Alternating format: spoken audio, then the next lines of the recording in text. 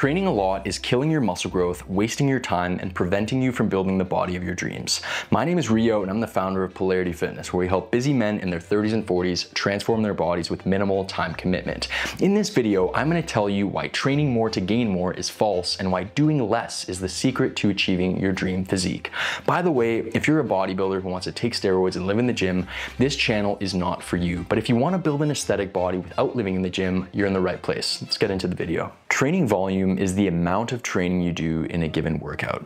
This refers to the number of exercises, sets, and reps you perform. Training intensity is how hard you train. Training hard means pushing your sets close to failure, and training to failure means pushing your sets to where you can no longer move the weight despite maximal effort. Arthur Jones once said, you can either train long or you can train hard, but you can't do both. There is a trade-off between volume, the amount of training you do, and intensity, how hard you train. If you're gonna train hard, you can't train as much. If you're gonna train a lot, you can't train as hard. How are you feeling about the workout today? Stiff.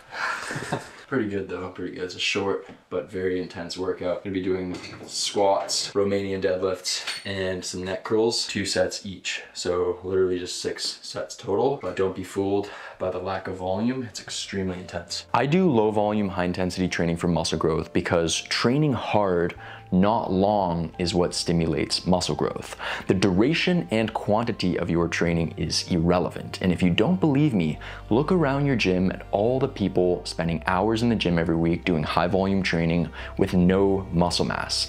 Effective training is about quality not quantity. You can do as much volume as you want, you can spend as much time in the gym as you want, but if you're not training hard enough, you won't gain muscle. Why do you aim to add weight to your lifts every time you go to the gym? Because the primary driver of muscle growth is tension. The weights that you're using right now will at some point not produce enough tension to cause muscle growth because they'll just become too easy because your body will adapt to them over time. So to keep your muscles growing and to keep your body adapting, you need to continue to increase tension levels over time. And the best way to increase tension levels is is to continue adding weight to the bar. So for this first set, I'm aiming for 265 for six to eight reps. Last week, I got 260 pounds for eight reps. And so I hit the top end of the rep range. And so I added five pounds going up to 265. And I'm gonna try and at least get six, maybe aim for a couple more.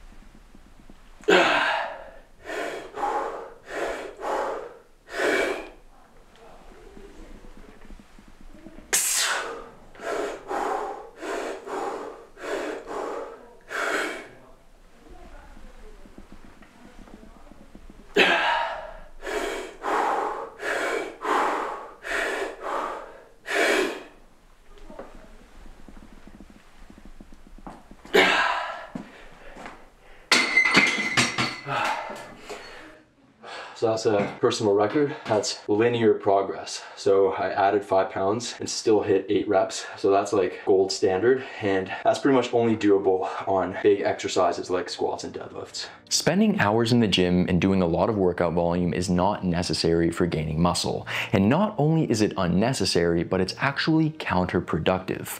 The more volume you do, the more difficult it is to train hard, because doing a lot of volume will spread you thin and decrease the effort you put into your workouts. So my goal every time I step into the gym is to make a little bit of progress. It's either to add a rep or a little bit of weight to each of my sets. And it's not even that you're gonna do that every single time, but you want to always always strive for that little bit of progress. It's that striving for those little bits of progress week by week that over time add up to massive gains. And so training done properly is a lot like a video game. You're always trying to level up, trying to beat the previous version of yourself. And that's what your training should look like as well. So many people just lift the same weights month by month, they don't strive for that progress, that improvement. And weight training is a game of progressive resistance. If you're not adding weight to the bar over time, your physique's not gonna change. So I'm going for my second set now. And so I always do two sets per exercise. And the first set is always the heaviest set. And then I like to do a lighter back down set for the second set. And so last week on this second set of squats, I got 240 for 10 and I'm working in the eight to 10 rep range. So I hit the top end of the rep range. So in this workout, I add five pounds, go up to 245 and I'm gonna drop to the bottom of the rep range and try and get at least eight.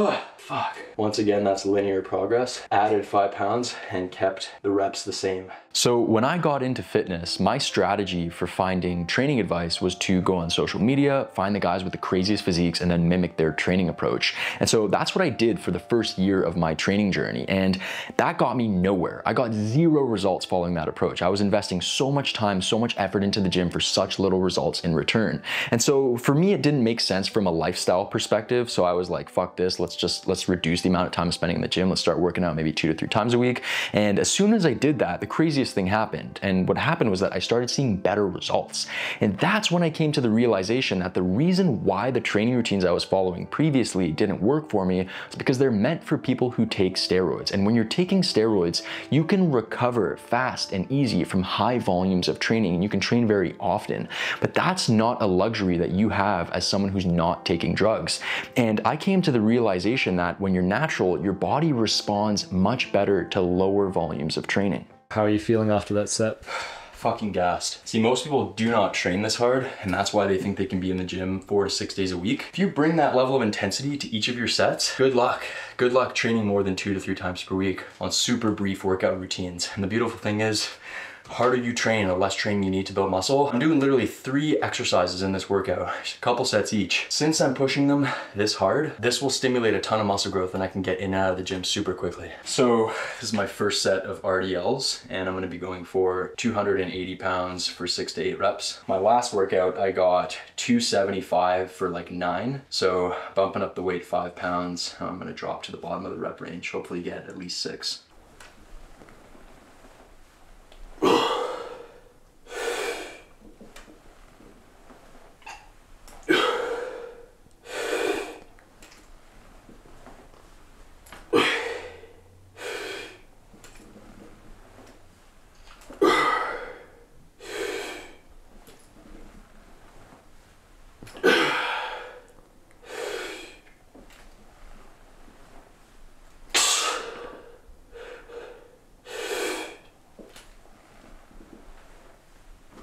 If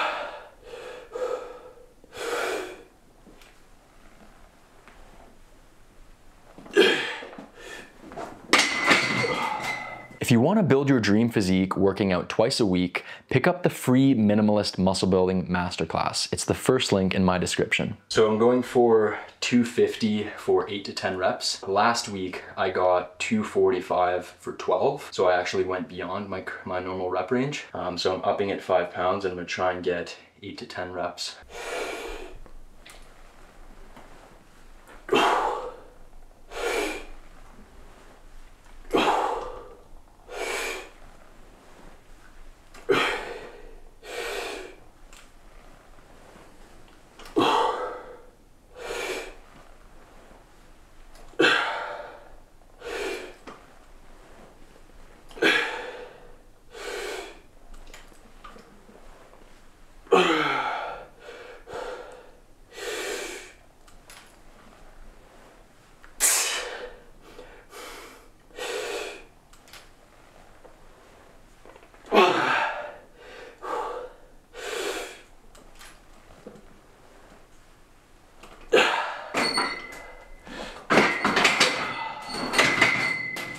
So, the main benefit of low volume training is that you can still build the body of your dreams, but while spending less time in the gym and having more time for the other more important areas of your life. And so, when I got into fitness, I was following the mainstream bodybuilding approach and working out six times a week. And eventually, I realized that fitness and the gym was taking much more from me than it was giving me. And that's when I started to spend less time in the gym because I felt like I was becoming very one dimensional. I felt like the other areas of my life were starting to lag behind as a result of my obsession with fitness, right? It consumed my everyday thoughts. It took so much time out of my week. And I realized like, what's the main purpose of fitness, right? It's to enhance your life. It's to act as a vehicle to improve your life. And for me, that's not what fitness was doing. Fitness was actually taking much more from me than it was giving me. And so the benefit of low volume training is that you can still get all of the life enhancing benefits of building an incredible physique, but without having to sacrifice different areas of your life. On most exercises, I try and squeeze out every rep that I can do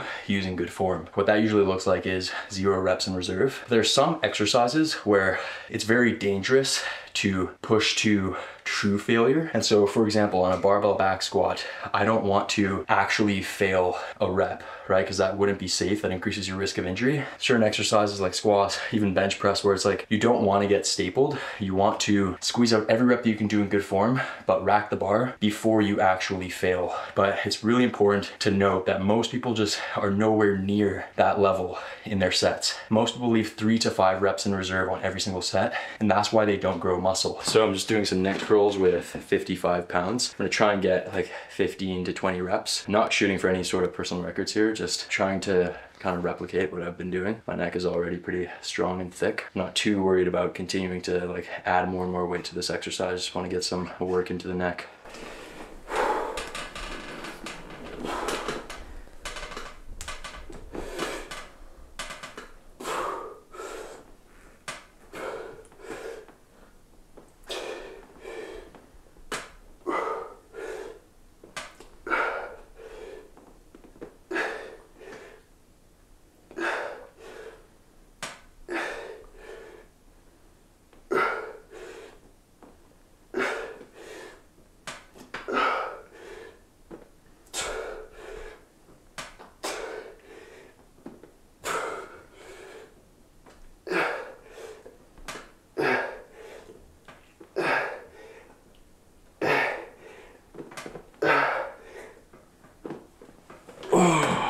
Most people's mindset when they go into training is completely wrong. Most people think that when they go into the gym, the goal is to do as much as possible and trash themselves. And they have this like hardcore mindset of like, I'm gonna spend hours in the gym. I'm gonna do as much volume as I can. I'm gonna I'm gonna crush my legs until I can't walk. It's like that is not what you want to do unless you're taking steroids. Because think about how hard it's gonna be for your body to recover and grow from that. The goal of training, and this is a huge mindset shift for a lot of people, is to actually do the minimum amount of training volume that you need to stimulate growth. That's gonna be much easier for your body to respond to. So if you can stimulate growth in just two sets versus having to do five or six, your body's gonna have an easier time responding to that. The goal of training is to go into the gym, stimulate muscle growth with a very small quantity of hard training, and then get out of the gym, rest, recover, and then come back a little bit bigger and stronger. To make low volume training work, you must train hard and make every set count.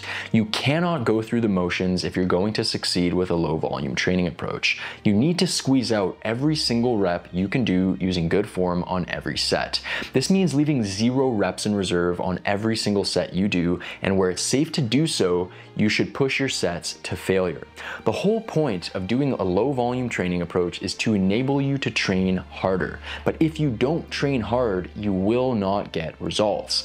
When most people don't see gains, they assume that the issue is that they're not doing enough volume. So they throw in more sets, more exercises, more training days, but a lack of volume is rarely the issue. The issue is almost always a lack of intensity. Most people do not train hard enough, and that's why they don't see results.